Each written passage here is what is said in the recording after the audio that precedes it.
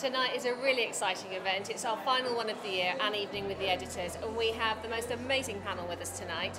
So we have Jo Elvin from Glamour magazine, we have Jane Bruton from Grazia magazine, Trish Halpin from Marie Claire, and also Toby Wiseman from Men's Health. And then we have our Vice Chairman, Chris Good, interviewing all of them, who's the President of Estee Lauder for the UK. So we are really excited. It's a sellout event. It's going to be a really fun evening. Well, I have a list of questions, but perhaps I'll go completely off cue and ask them all kinds of different stuff about their personal lives. So seriously, I'm going to ask them about their background, uh, their history, you know, what made them so successful in the business, you know, how things are moving forward with fragrance and editorial and the magazine world in general. For me, it's going to be an amazing opportunity to get inside those beauty editors' minds.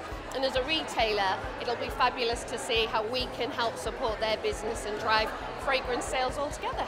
I think it's a, it's a great opportunity for people to be in a non-business type of environment and uh, to understand a little bit about you know how each sort of uh, functions in our industry works. So whether it be in the press, whether it be the trade, whether it be suppliers. So I think it's it's a great opportunity for people to exchange and uh, just get a little bit more insight and a bit more understanding into each other's world.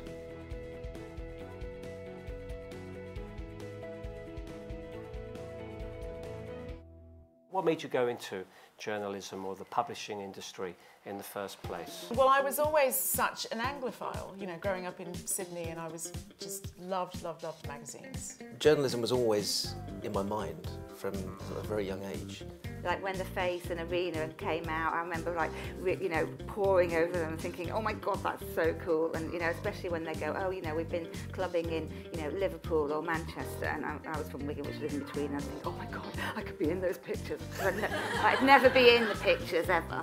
I moved to a small um, contract publishing company where you're literally thrown in at the deep end and you, I had to do everything. I had to design pages, I had to research things, I had to probably sell advertise, I had to do everything. Obviously glamour is, you know, it's kind of it, you know, it's no exaggeration, it's changed my life. You know, mm. it was, it's been such a brilliant job. Uh, when I started as a journalist, I was told that I needed to make a decision right there and then um, whether I wanted to be a good writer or a good editor, which you can't be both.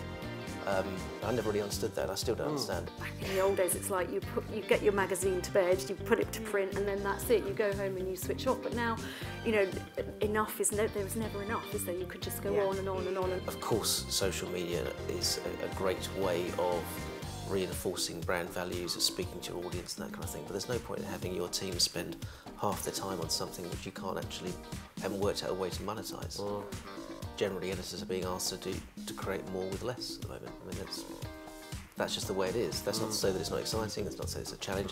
Quite often on a monthly, you have a great idea and think, mm, by the time I can do it, freaking Grazia so, so you know, so it's so it's great to be able to have that online vehicle yeah, sure. and, and, react immediately. I, I love it.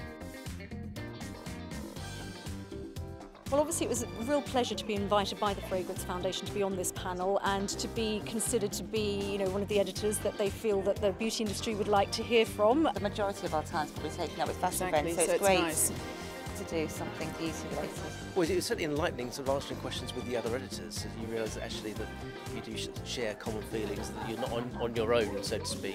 Some people look at the magazine industry and find it difficult to delineate, so it's really nice to get the opportunity to talk about your brand in that way.